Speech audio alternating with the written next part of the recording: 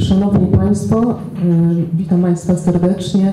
Myślę, że emocje są duże po tej wstępnej sesji. Ja chciałabym podzielić się z Państwem moim doświadczeniem z pacjentkami po e, wielokrotnych niepowodzeniach rozrodu, po wielokrotnych poronieniach i e, dla mnie jako lekarza praktyka nie jest tu istotne, czy to są ciąże po metodach in vitro, czy to są ciąże po naprotechnologii. Problemem jest e, sama strata ciąży.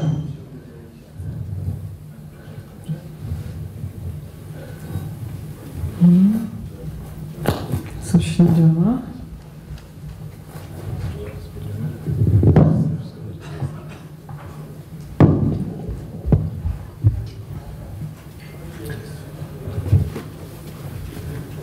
Problemy niepowodzeń e, rozrodu, które e, spotykamy aktualnie, wydają się dotyczyć coraz e, starszej populacji. Chciałabym w tym wykładzie przedstawić aktualne poglądy na zjawisko implantacji człowieka, problemy związane z nieefektywnością tego procesu i rola w niepłodności i poronieniach tzw. Tak biochemicznych, jakie są najczęstsze choroby związane z niepłodnością i ryzykiem utraty ciąży oraz przedstawić możliwości terapii e, tych schorzeń.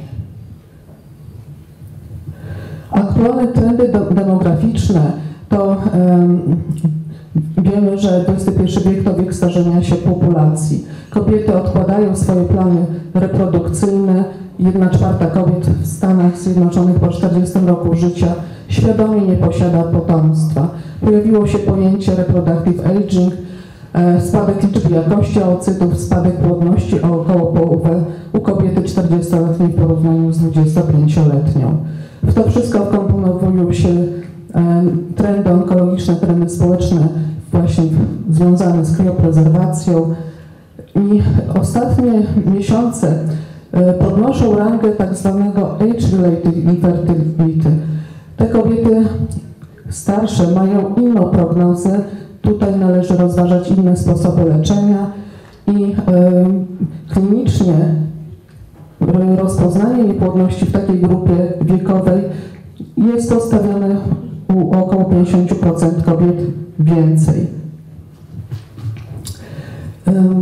To kobiety są predysponowane do szeregu schorzeń z kręgu chorób autoimmunologicznych, około 5% procent kobiet ma choroby e, związane z, z autoagresją, typu zespół Siegrena, toczeń układowy, sklerodenia.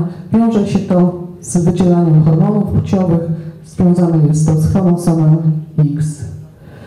W układzie immunologicznym podkreśla się rolę wpływu tzw. Tak odpowiedzi TH1 i TH17 na ryzyko niepowodzeń rozrodu, a ochronną rolę komórek regulatorowych i TH2. Również rola hormonów w promocji chorób autoimmunologicznych jest tutaj istotna. Pewne możliwości terapii mają zwiększać szanse na ciążę u kobiet z chorobami autoimmunologicznymi. Co to jest e, niepłodność? Te definicje są dosyć trudne. E, również wprowadzono e, określenie Reproductive Autoimmune Failure Syndrome dla zespołu zaburzeń autoimmunizacyjnych układu rozrodczego. To zespół, który obejmuje obecność różnorodnych przeciwciał towarzyszącym niepłodności poronieniem nawykowym i w tym kontekście niepłodność i straty ciąży, utraty ciąży możemy uważać za odrębną chorobę autoimmunizacyjną. Poronienie nawykowe i tak zwane niepowodzenia nawracające implantacji to sytuacja, kiedy mamy co najmniej trzy straty lub dwie po 35 roku życia. Amerykańskie Towarzystwo Medycyny Rozrodu e, wprowadziło swoje nowe rekomendacje i uważają, że nawet po 6 miesiącach kobiety po 35 roku życia powinny być już diagnozowane, o ile y, takie jest oczekiwanie. Musimy też wiedzieć, że szansa powodzenia ciąży jest duża. Jeżeli ta liczba utrat ciąży wynosi 2, to tak naprawdę szanse na poród, nawet jeżeli nic nie zrobimy, wynoszą 80%. Y, Terapią możemy po, pomóc około 10% kobiet, bo połowa tych niepowodzeń wynika z błędów genetycznych. Jeżeli ta liczba niepowodzeń jest wysoka, powyżej 4-5, to już 1 trzecia pacjentek ma szansę odnieść korzyść z terapii. Implantacja to skomplikowany proces, który angażuje szereg interakcji różnych molekuł adhezyjnych z białkami macierzy zewnątrzkomórkowej, układ hormonalny, immunologiczny, metaloproteinazy. Ostatnie lata podkreślają rolę tzw. patologii komórek NK na wczesne straty, utraty ciąży i rolę protekcyjną komórek regulatorowych. Takie formy leczenia bardzo eksperymentalne są wprowadzane w oparciu o podkreślenie y, patologii tych y, zaburzeń. Również prace naszego zespołu podkreślały rolę układu immunologicznego w, w powodzeniu ciąży. Badania na to pochodzą limfocytów T były istotne dla określenia kontynuacji, szans na kontynuację ciąży. Niemniej najnowsze badania podkreślają, że ta rola oznaczeń komórek NK nie jest jednoznaczna. Część badaczy podkreśla, że wzrost tej aktywności tych komórek nie jest czynnikiem ryzyka poromienia. Inne badania podkreślają y, rolę, że to może mieć znaczenie. Sprawa jest niejasna. Wydaje się, że po pierwsze nie należy szkodzić. Takim klinicznym markerem y, niepowodzeń rozrodu jest jakość błony śluzowej macicy. Czasami nie udaje nam się ustalić przyczynę niepłodności, ale mamy klinicznie e, w obrazie ultrasonograficznym e, zaburzenia tej jakości. Typowy trójlinijny obraz błony śluzowej macicy to minimum 7 mm z indeksem pulsacji w tajemnicach macicznych poniżej 3. W dniu podania HCG e, grubość błony śluzowej macicy, by liczyć na uzyskanie ciąży w programach in vitro. Powinna być powyżej 8 mm i te przepływy w tajemnicach macicznych odzwierciedlają hemodynamiczną adaptację tych tajemnic niezbędną do zmian niezbędnych podczas wczesnej ciąży. Wydaje się, że obecność naczyń krwionośnych błony śluzowej macicy w dniu transferu jest niezbędna dla procesu implantacji i doskolaryzacja błony śluzowej macicy jest znacząco zmniejszona w okresie okołowalacyjnym u kobiet z niewyjaśnioną niepłodnością. Mm, są różne metody wpływu na tak zwane cienkie endometrium i wykazano, że faktycznie ta jakość błony śluzowej macicy jest czynnikiem predykcyjnym powodzenia ciąży. Próbuje się podawać estrogeny, małe dawki aspiryny, nitroglicerynę, pentoksyfilinę czy też kwasy omega. E, w ostatniej dekadzie próbę wprowadzania cytrynianu, sildenafilu, także u pacjentek z zespołem Ashermana. Również nasze badania mm, pokazały korzystny wpływ na e, terapię sildenafilem przed ciążą u pacjentek nawykowo roniących u pacjentek z cienkim endometrium, której doszło do korekty przepływów w tajemnicach macicznych, uzyskiwaliśmy ciążę i y, było to jedyne leczenie wtedy w tej grupie y, pacjentek. Również sildenafil zmniejszał aktywność komórek NK. Także w tym znaczeniu um, używa się preparaty witaminy E, argininy. Istotnym czynnikiem, który wpływa na niepowodzenia rozrodu jest zespół antyfosfolipidowy. Również ta choroba ma znaczenie w aspekcie zdrowia kobiety. Zespół antyfosfolipidów kobiet dotyczy częściej e, niż mężczyzn Średni wiek diagnozy 31 lat, ryzyko zakrzepicy wysokie. Zgodnie z aktualnymi kryteriami definiujemy ten zespół w, oparcia o, w oparciu o tzw. kryteria e, Sydney. E, ten zespół obejmuje stwierdzenie co najmniej jednego kryterium klinicznego i e, jednego kryterium laboratoryjnego. Oprócz e, kryterium kliniczne to zakrzepica w naczyniach i, lub niepowodzenia położnicze, e, co najmniej 3 straty do 10 tygodnia lub mm, co najmniej jedna po 10 tygodniu lub przedwczesne urodzenie prawidłowo-morfologiczne noworodka przed 34 tygodniem z powodu nadciśnienia. Kryteria laboratoryjne to antykoagulant toczny, przeciwciała antykardiolipinowe i przeciwciała przeciwko beta-2 glikoproteinie pierwszej. Ważne jest, e, że te badania powinny być wykonane 12 tygodni po niepowodzeniu i powtórzone po kolejnych 12 e, tygodniach. E, możemy ten zespół podzielić na kilka kryteriów w oparciu o stwierdzone zaburzenie.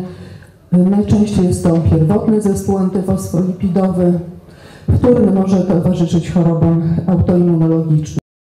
Również wprowadzono tak zwane sformułowania APS-like syndrom, czyli pacjenci z kryterium klinicznym, którzy nie spełniają kryterium y, laboratoryjnego, tylko raz stwierdzane przeciwciała. Możemy mieć również sytuację, kiedy nie mamy kryterium klinicznego, ale stwierdzamy te przeciwciała. E, takie objawy marmurkowatej skóry mogą nasuwać mm, mm, e, podejrzenie tego zespołu i też są badania, które pokazują, że zwiększa to ryzyko poronień. Przeciwciała e, antywosfolipidowe wiążą się z mm, poronieniami w wielu mechanizmach, głównie dochodzi tutaj do zakrzepicy, interakcji z fosfolipidami płytek krwi, zmniejszonej ekspresji anekseny piątej i innych e, białek układu krzepnięcia. Wynikiem działania negatywnego tych przeciwciał oprócz poronień może być nadciśnienie w ciąży, zahamowanie wzrostu płodu, odklejenie łożyska. Podkreśla się też rolę czynników infekcyjnych w patogenezie tego zespołu, Chciałem też podkreślić, że e, ten zespół ma znaczenie również w ryzyku e, innych chorób e, cywilizacyjnych u młodych kobiet, szczególnie jeżeli kobiety palą papierosy czy stosują tabletkę antykoncepcyjną, mając ten zespół, istnieje zwiększone ryzyko udaru i zawału mięśnia sercowego. Szczególnie jeżeli przeciwciałami obecnymi są przeciwciała przeciwko beta-2 glikoproteinie pierwszej lub antykoagulantoczne. Również z niepłodnością wiążą się inne choroby e, populacyjne, jak na przykład niedoczynność tarczycy, choroba Hashimoto, definiowana m.in. obecnością przeciwciał e, antytarczycowych, antytyreoglobulinowych i przeciwko e, peroksydazie. Wydaje się, że kobiety z obecnymi przeciwciałami ronią czterokrotnie częściej. Nawet jak są leczone hormonami tarczycy, to ten odsetek jest też dwukrotnie wyższy. Próby wprowadzania preparatów selenu w, pro, w profilaktyce poronień, no, ten efekt nie jest y, potwierdzony. Również inne przeciwciała o mniejszym znaczeniu spotyka się u pacjentek z niepłodnością, Chorobą istotną jest endometrioza, leczenie raczej operacyjne, ale również próby e, farmakoterapii w oparciu o e, istotę, o zaburzenia immunologiczne w tej chorobie. Hyperprolaktynemia często towarzyszy e, niepłodności, też może mieć związek z chorobami autoimmunologicznymi, E, proponuje się terapię preparatami witaminy D3 w połączeniu z agonistami receptora dopaminergicznego. Myślę, że bardzo ważnym schorzeniem wikłającym płodność jest zespół policystycznych jajników w oparciu o kryteria e, rotterdamskie może dotyczyć około 15% kobiet. Em, Tutaj istotnym mechanizmem, który może prowadzić do niepowodzeń rozrodu jest tak zwana insulinooporność. Mm, Takim markerem determinującym ryzyko poronienia jest również czynnik antymillerowski. I 80% pacjentek z tym zespołem ma bardzo wysokie stężenia tego czynnika. Badania naszego zespołu stwierdziły, podkreślają, że wysokie wartości tego mm, czynnika zwiększają ryzyko poronienia. Ale również e, są badania, które podkreślają, że e, liczba pęcherzyków antralnych i stężenie AMH nie są niższe u niepłodnych pacjentek w wieku rozrodczym w porównaniu do płodnych kobiet, a więc nie jest to y, determinant y, płodności istotny.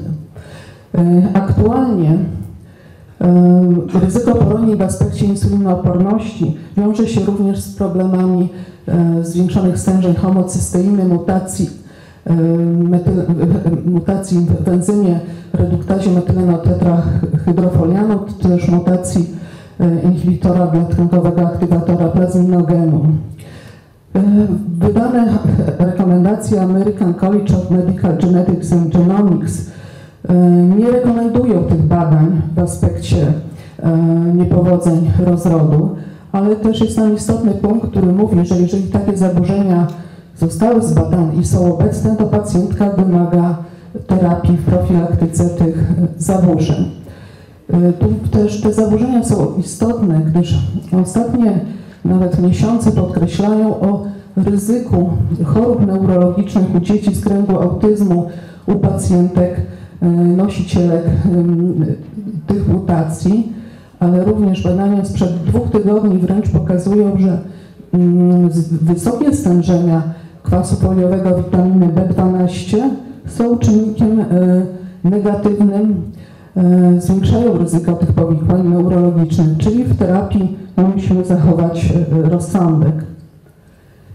Celiakia należy również do kobiet, które zwiększają ryzyko niepowodzeń rozrodu, nawet do 10% e, pacjentek niepłodnych może mieć zaburzenia z tego kręgu. Takim e, istotnym czynnikiem em, predykcyjnym wydają się być przeciwciała przeciwko transglutaminazie tkankowej. Tutaj oczywiście dieta eliminacyjna jest e, istotna w terapii. Rzadka przyczyna, może rzadko diagnozowana nadwrażliwość na y, hormony. To są objawy skórne, mastalgia, zaburzenia miesiączkowania przeciwko natywnemu, przeciwciała przeciwko natywnemu progesteronowi. E, Proponuje się tu odczulanie, czyli podawanie niskich dawek progesteronu, następnie procedury y, in vitro. Myślę, że całościowo problem niepłodności i strat ciąży mm, bardzo dobrze pod, mm, podkreślił TWIG w 2012 roku, pokazując, że to nie jest em, problem em, em, wąski, że często pacjentki z niepłodnością ma- mają szereg towarzyszących chorób, że to są zaburzenia zarówno endometrioza, jak i zespół policystycznych jajników, jak i niedobór witaminy D3, zaburzenia funkcji hormonów tarczycy i to wszystko wiąże się z zaburzeniami immunologicznymi, e, dysfunkcją zarówno limfocytów T, jak i komórek e, NK. W terapii schorzeń mm, e, niepowodzeń rozrodu w profilaktyce wśród leków, którymi dysponujemy to aspiryna, dawki do 100 mg bezpieczne, terapię kończymy zwykle przed porodem, heparyny w związku z działaniem antykoagulacyjnym i przeciwzapalnym y, nie przechodzą przez łożysko, wydają się grupa C bezpieczne, ale do tej pory nie mamy jednoznacznych badań stwierdzających, czy, y, czy możemy to leczenie proponować każdej kobiecie roniącej. Tak zwane badanie Prefix sprzed kilku, e, no sprzed roku już pokazało, że używanie heparin niskocząsteczkowych nie poprawia częstości urodzeń u kobiet bez trombofilii i dłużej nie powinno być polecane w tym, e, w, tym, w tym aspekcie. Są badania na mniejszych grupach pacjentek, które pokazują skuteczność tej terapii. Mm, e, polskie rekomendacje również e, zalecają niestosowanie profilaktyki przeciwzakrzepowej u kobiet po poronieniach. Wydaje się, że jedynie zespół antyfosfolipidowy jest trombofilią o udowodnionej skuteczności tej e, terapii. Również inne poszukiwania innych leków w profilaktyce poronień nie znalazły potwierdzenia. Badanie dotyczące stosowania progesteronu, to był mikronizowany progesteron na dużej grupie ponad 800 pacjentek, tak zwane badanie PROMIS, nie wykazało korzystnego wpływu w profilaktyce poronienia. Aczkolwiek opublikowane badanie pół roku wcześniej przez Kurama w 2014 roku, tam był dydrogesteron stosowany, wykazało znamiennie statystyczny spadek poronień po stosowaniu tego preparatu, więc być może sprawa jest jeszcze otwarta, kwestia kwalifikacji pacjentek. Sterydy bardzo często stosowane, ale niekoniecznie badania o ich stosowaniu potwierdzają efektywność w profilaktyce poronienia. Raczej rekomendowałabym stosowanie tych preparatów u kobiet z chorobami autoimmunologicznymi, które wymagają jak gdyby kontynuowania terapii w ciąży. Rola witaminy D3, to wszystko się toczy. Ciekawa opcja, tania,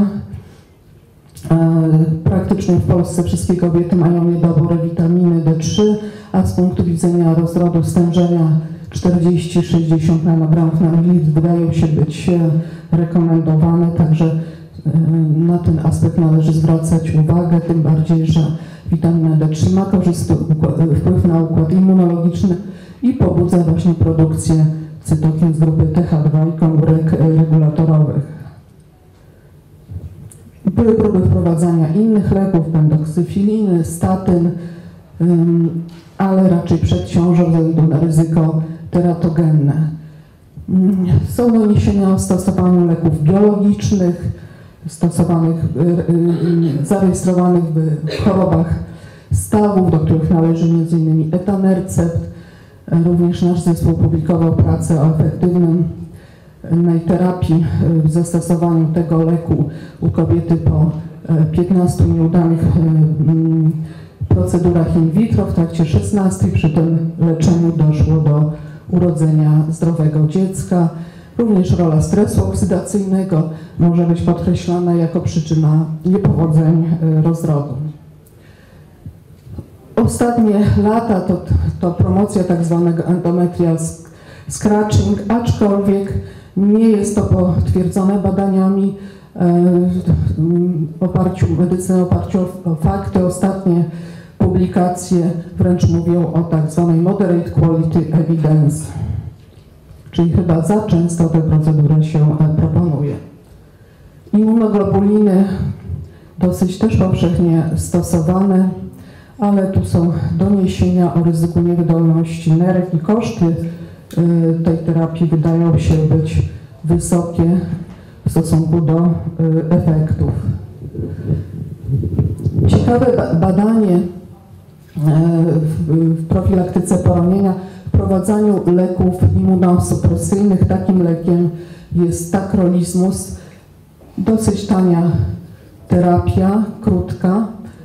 To leczenie mm, ma mieć znaczenie w profilaktyce mm, powodzenia u pacjentek ze zwiększonym stężeniem cytokin TH1.